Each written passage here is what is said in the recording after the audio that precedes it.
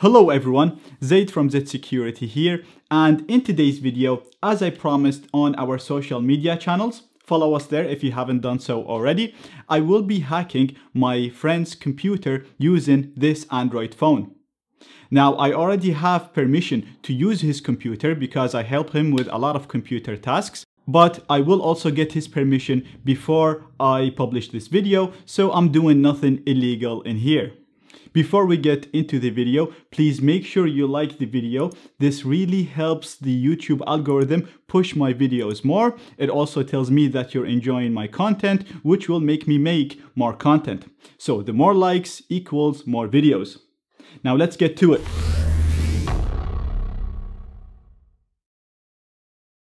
So right here I have a normal Android phone that is configured to register itself as a keyboard when connected to a computer.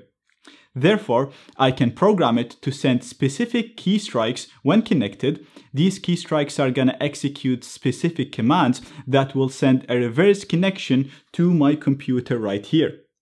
This will allow me to fully control the target computer and I'll be able to do anything that the normal user can do on their computer. So you'll be able to list the files, upload, download, do whatever you want, and we'll actually have some fun with this and we'll turn on his webcam and see what he's up to. I will walk you through the exact steps on how to set this up later on in the video. But for now, let me show you the attack in action. So I'm literally gonna walk into his office. I'm gonna ask him, can I charge my phone using your computer? It's not working in my computer he'll definitely say yes. When I plug my phone into his computer, it's to register itself as a keyboard. It's to send specific commands really, really quickly and type them through his computer as if they're being typed on a keyboard. The commands will send me access here and we'll see how we're to be able to control his computer from here. Before I go, I just want to apologize for the camera angles. I'm going to be recording from my phone and I'm going to put it in my pocket with the lens coming out because I don't want him to get suspicious. He'll think, why am I recording him as I'm walking into the office? So just for this portion of the video, the camera angles are not going to be perfect. Now let's go. Mind if I try this phone? I haven't trained for a week, man.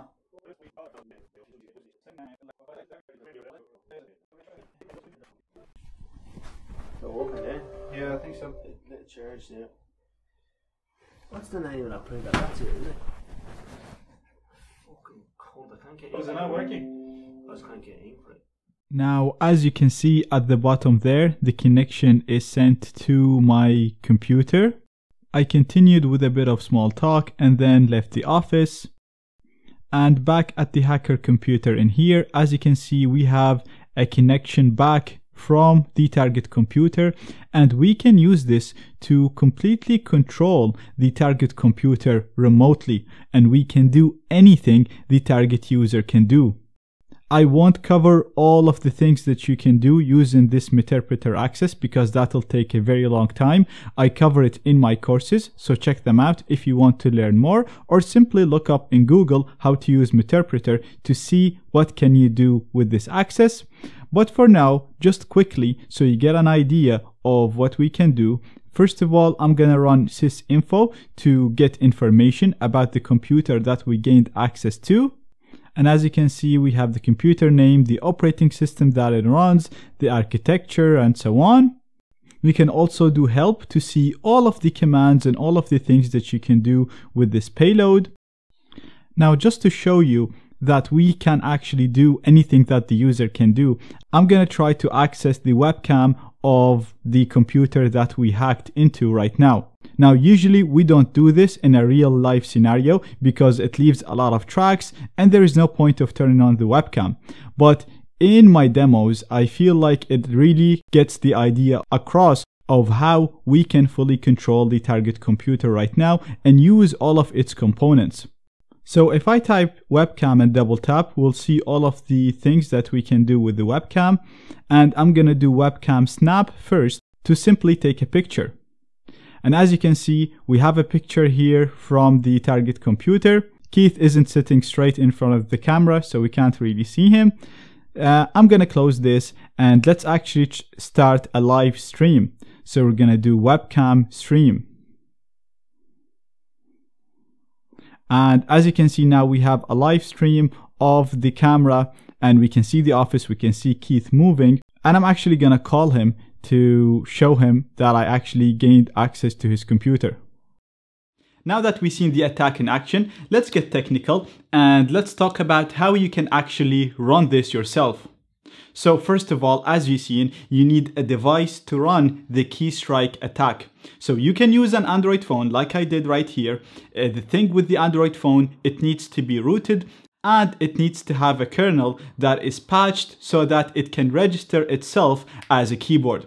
If you install NetHunter, you'll be doing all of this automatically, or you can just manually install a kernel that can do this and root the phone.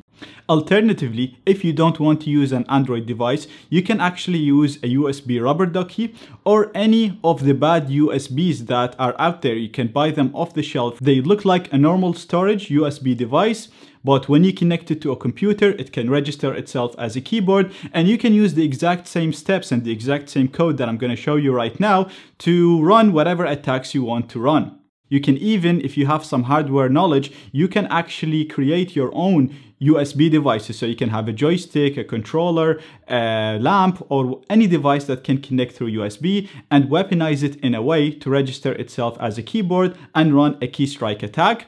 I actually did this in my last conference in Orlando. So I'm going to include a link to it if you want to see that uh, in action. And let me know if you want to get technical with the hardware part of it on how to create your own bad USB devices. I'll get Adrian. Adrian's amazing at this and I think he'll do a great job at it. So let me know in the comments if you want to see how to do that. But uh, going back to the requirements for this attack, you will need a device that can run the keystroke attack. And like I said, you can pick any device you want.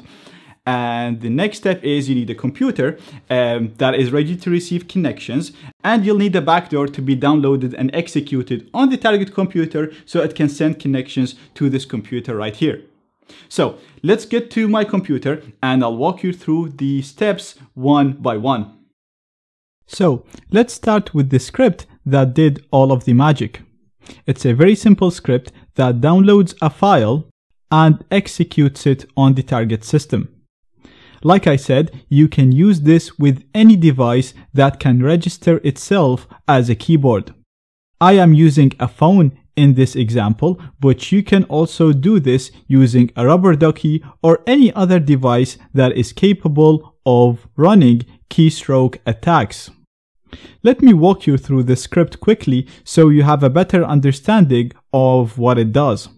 First of all, everything you see in yellow are ducky commands, and everything else are the commands options. So, the first command is GUI and it basically simulates a press to the Windows button on the keyboard and we're typing R to simulate a press of the Windows button and R to open the run window we're using the delay command to wait for 200 milliseconds to wait for the run window to open. Once that window is open, we're using the string command to type everything that you see in white in the run window. What you see in white there is a command to start an elevated PowerShell window. We're using the enter command to simulate a press to the return button then we're waiting for 2 seconds to wait for the PowerShell window to open. Because we're running an elevated PowerShell window, the user will see a warning saying, do you actually want to do this? So we're using the Alt command and Y to simulate a press or a click on the yes option. We're gonna wait for 900 milliseconds for the actual PowerShell window to load. And once this window loads, we're using the string command again to type everything that you see there in white. What you see there in white are PowerShell commands that will allow us to download and execute a file. The file that I'm using is not great. It actually gets detected by Windows Defender. Therefore, the first line in here will disable Windows Defender real-time protection. Then I'm creating a web client object that I'm going to use to download the file. We're going to create a variable to hold the file name. Then we're using the web client to download our file from this URL right here and store it as the file name that we set. Then we're gonna create a shell application object and use it to execute the file that we downloaded. Now, so far the user still sees a PowerShell window, so we'll use the exit command to close this window. This is a very quick breakdown of the script. I hope it makes sense. I went quickly through it because I can actually make a full course on Ducky scripts and Ducky commands, and I can make an even bigger course on PowerShell. So if you want to learn more, check out the free resources in the description. But the main thing in here is that this script will basically allow us to download a file from this URL right here and then execute it on the target system.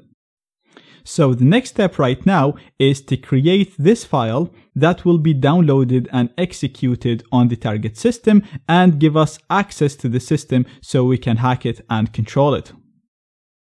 Now, I cover a number of methods to create undetectable backdoors in my social engineering course, and I even cover how to program your own backdoor from scratch in my Python course. But right now, I want a quick way of creating a backdoor because I don't want to make this video too long.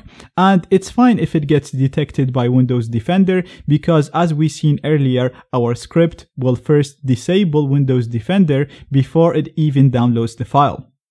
So I'm going to use MSF Venom to create it. So we're just going to do MSF Venom p to specify the payload. This is the part of the program that will do something useful for us. So I'm going to use a interpreter payload to give me full control over the target computer. We're going to set my own IP using the lhost argument.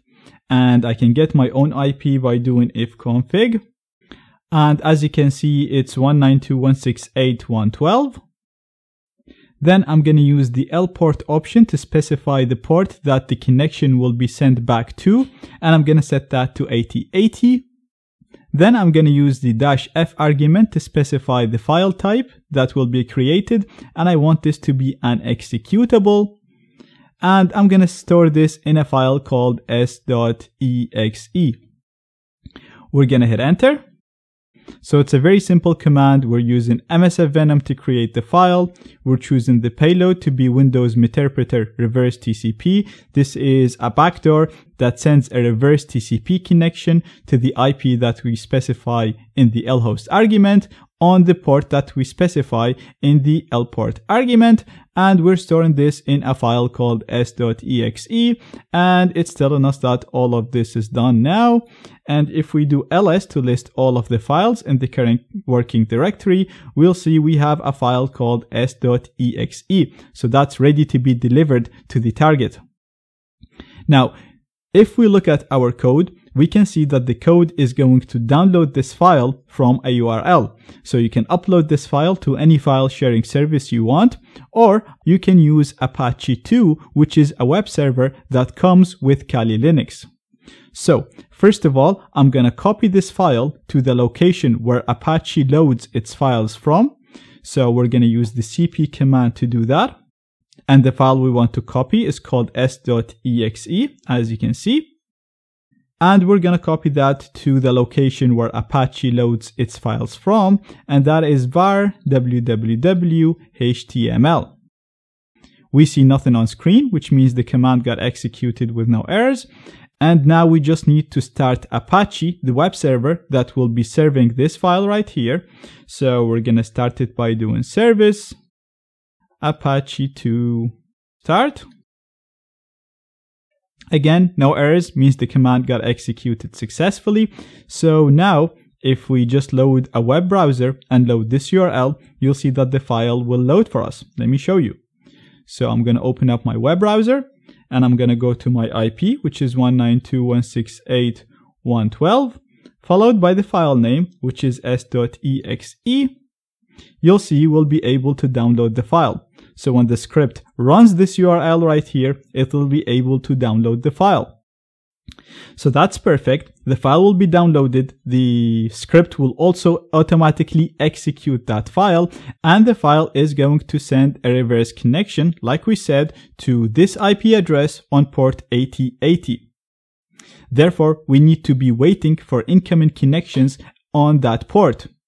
To do that, we're going to use MSF console. So I'm going to clear the screen and type MSF console to load the MSF framework. And then we're going to use exploit multi-handler to listen for incoming connections. We're going to set the payload to the same payload that we chose when we, when we created the backdoor, and it was Windows Meterpreter reverse TCP. We're going to set the L host to the same IP that we set when we created the backdoor, and that was my IP, which is 192.168.112. We're going to set the L port to the same port that we set when we created the backdoor. And if we do show options, you'll see that we set everything exactly the same way that we did when we created the backdoor. And now that we're happy with everything, I'm going to do exploit to run this handler and wait for incoming connections. So when this script gets executed, when this file is downloaded and executed on the target, the connection will be sent to here and I'll be able to control the target computer run commands on it, run all of the commands that Meterpreter allows me to run.